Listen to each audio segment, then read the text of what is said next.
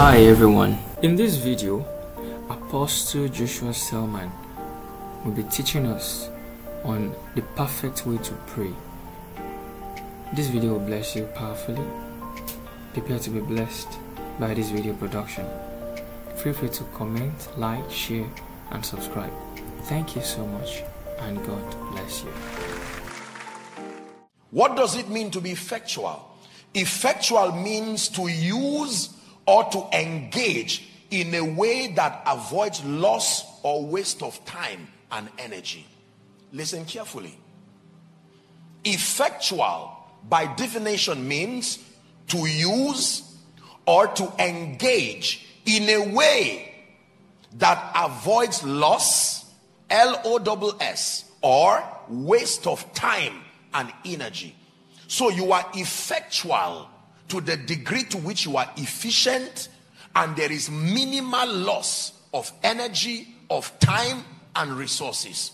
Am I right on that?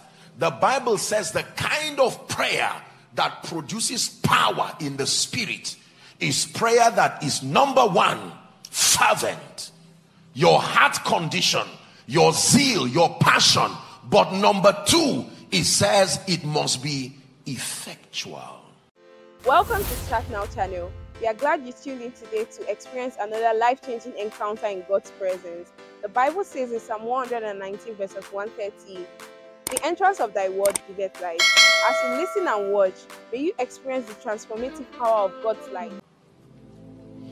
Most believers I observed here, they pray fervent, sincere, heartfelt prayers, but very few believers pray effectual prayers. Remember, we're going to pray. What then makes prayers effectual? It's important for us to understand. At what point do you know that your prayer is effectual? Is it by the sound of your voice?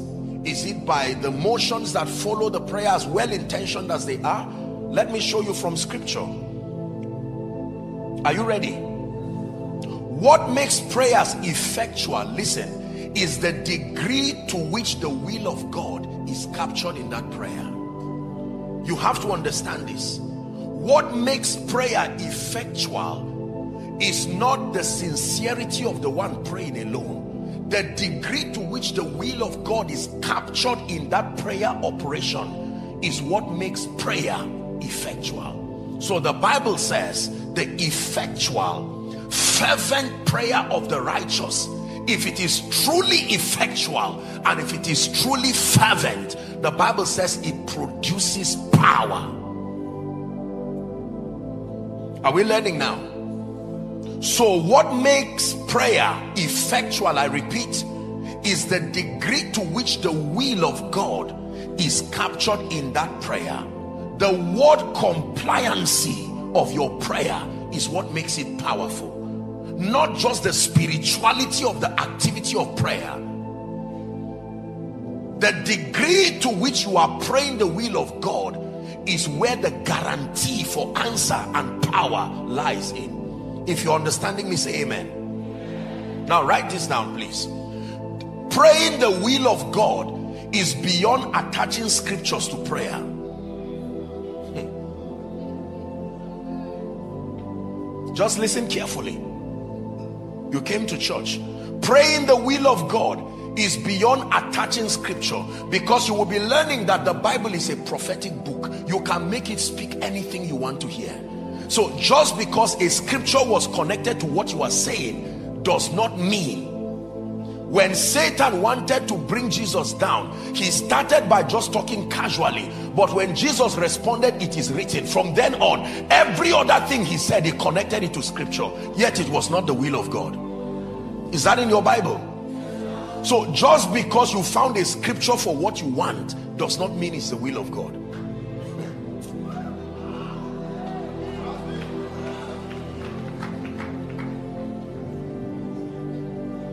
Say amen.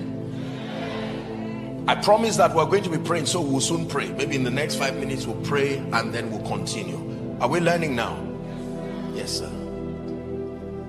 So when you pray consistent with the will of God, the Bible leaves us with an assurance that your prayer becomes effectual. Effectual. Effectual. This is very powerful.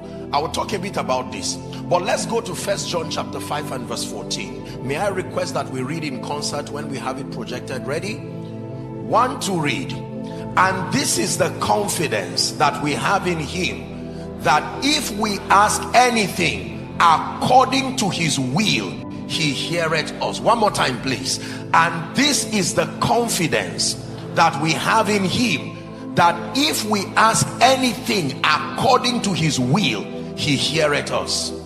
Verse 15, if you do not mind. And if we know that he heareth us whatsoever we ask, we know that we have our petitions that we desired of him. Hallelujah.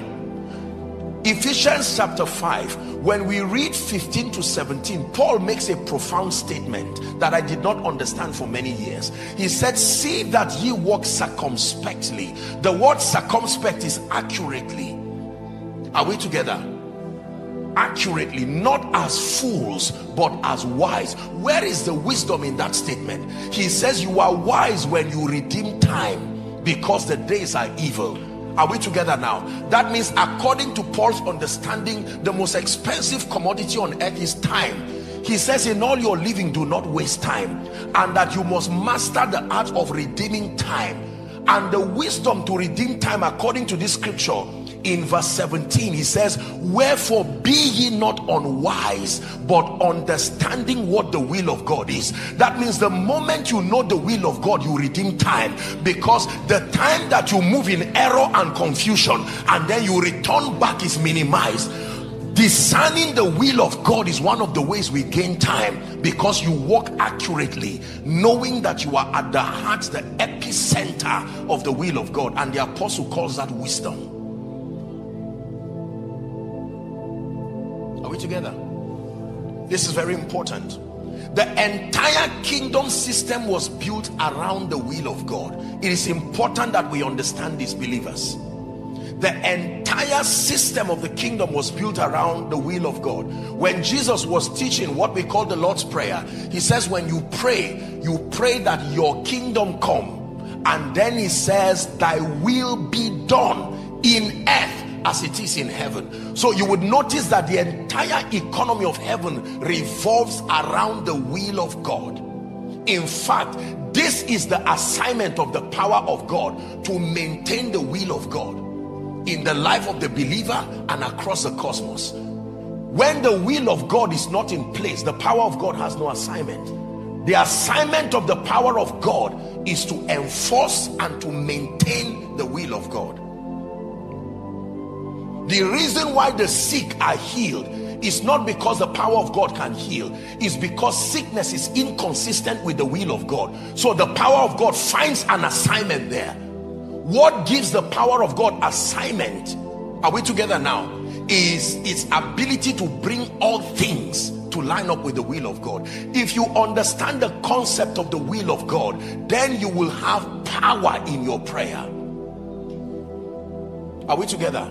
Because you see the first assignment of the believer in approaching prayer is to understand the will of God concerning what you're about to pray for or to understand how to find out the will of God. Making decrees is useless until you ascertain you are in the will of God. Are we together now every time you are in ignorance as to the will of God your first assignment is to get to a point of understanding and I'm going to be showing you. So you see that most believers do all kinds of things around the place of prayer and just because sincere energy was dissipated we hope that God will sympathize with our passion and somehow answer it. You see God has bound himself to honor his word. The Bible says he exalts his word even above his office you're learning say amen. So the Bible talks about the will of God as the secret that makes prayer powerful. But in truth and in experience we learn that there are many aspects of the will of God that are clear and known from scripture. But from a pragmatic standpoint there are times where you need to your destiny. You will be at a loss as to the unique expression of God's will. A provision was made in our dealings with God where men can tap into that intelligence. Are we together now? That the will of God was that was prior to that time not known, it can be known. This is where the Holy Spirit comes in. We believe you were blessed by the message you just watched. Let us know what stood out to you in the comment section. You can also support our channel by liking and sharing our videos. So more people like you will be able to watch powerful messages. We celebrate you and see you in our next video. Thank you.